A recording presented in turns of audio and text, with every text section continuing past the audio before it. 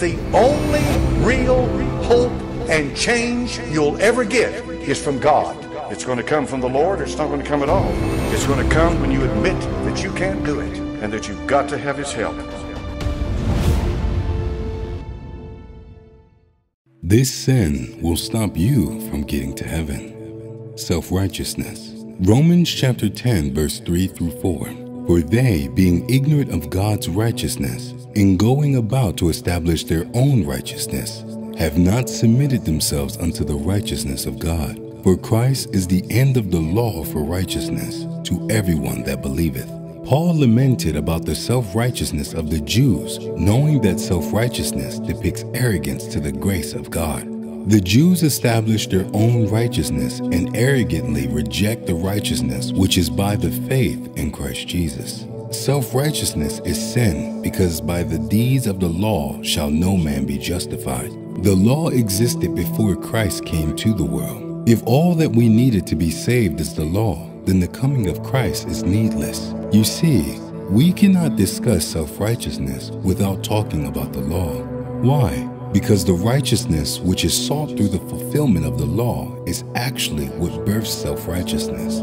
Several references in the Bible prove that self righteousness does not justify anyone and it will hinder people from getting to heaven. What several people do not actually realize, or what they fail to acknowledge, is that the righteousness of God, which is by faith, does not acquire the human efforts that they put into self righteousness. Anywhere in the scripture where the subject matter of self righteousness is discussed, we would see clearly that it does not save anyone. When a person rejects the work of Christ to establish his own righteousness, such person has made the gift of God so light. Ephesians chapter 2 verse 8 through 9 says, For by grace are ye saved through faith, and that not for ourselves, it is the gift of God, not of works, lest any man should boast.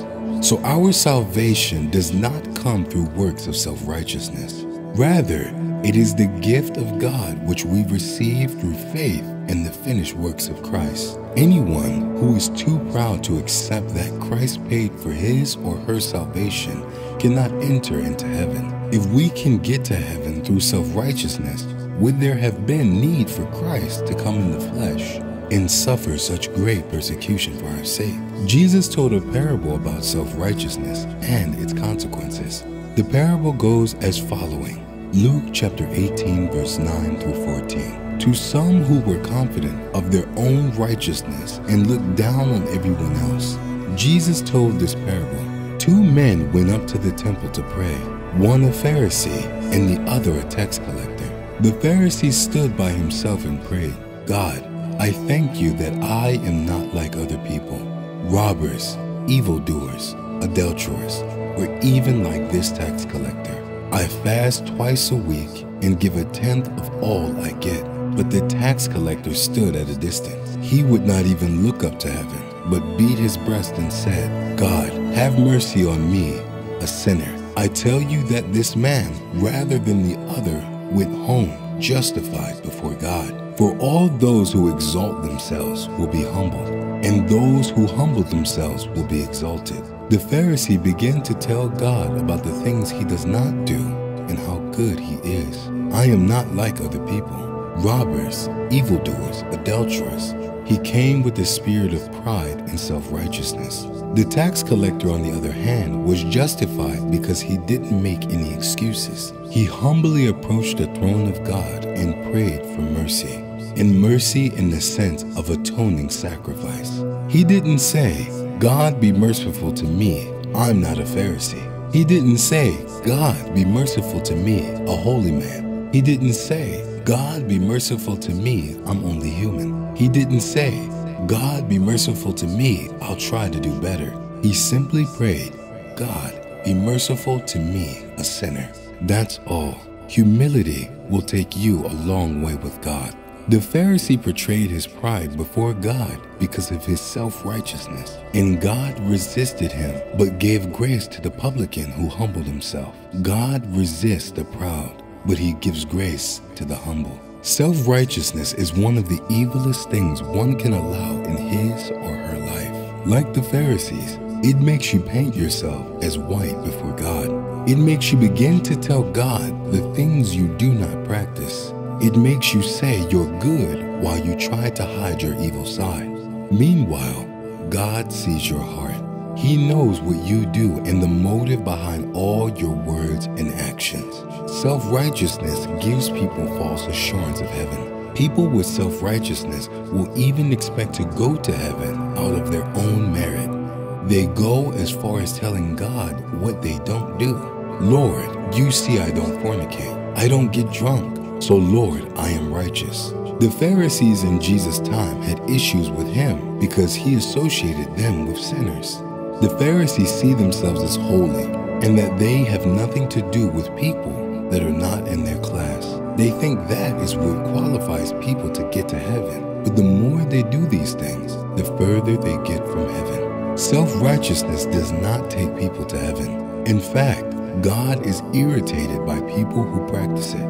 If practicing the law and being a moralist is all you need to make heaven, then there is no need for Christ to have died for our sins. This does not mean that we are not to be righteous. This teaching is not in any way encouraging anyone to live in sin. As the Bible says, we cannot continue in sin and say that grace should abound. Grace does not make people to sin, it rather prevents them from sinning. But the idea is that we must not rely on our righteousness. In another scenario in Mark chapter 10, a rich man came to Jesus and asked what he would do to inherit eternal life.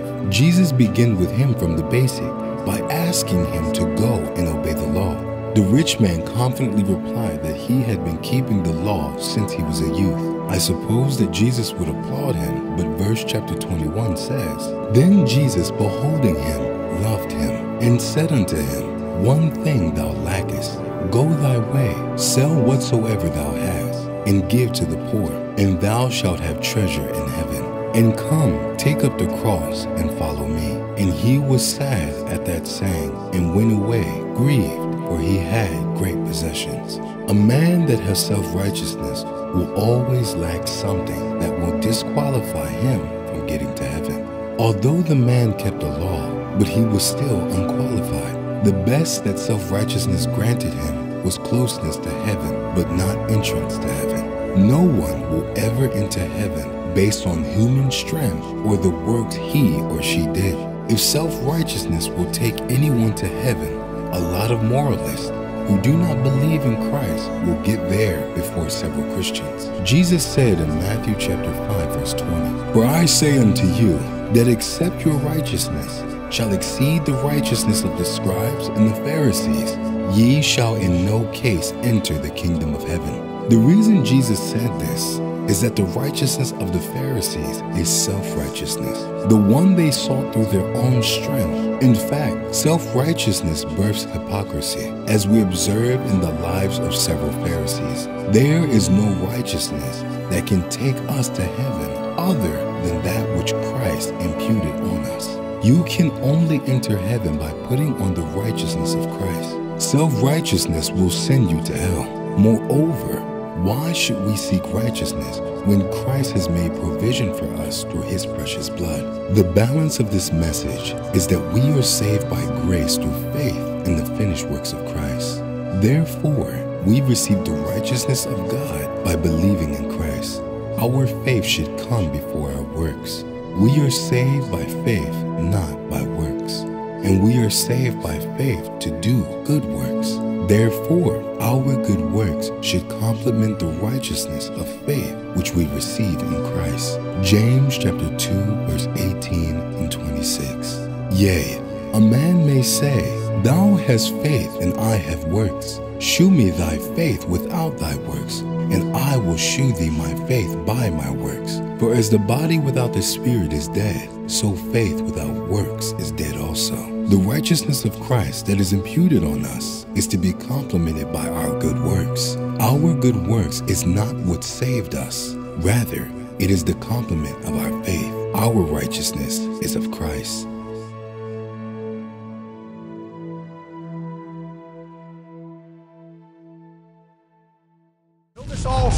Last days perilous times shall come, for men shall be lovers of their own selves covetous, boasters, proud, blasphemers. It takes the grace of God to change us, folks. How can you be saved if you're not willing to repent? And the Lord Jesus Christ said, Except you repent, ye shall all likewise perish.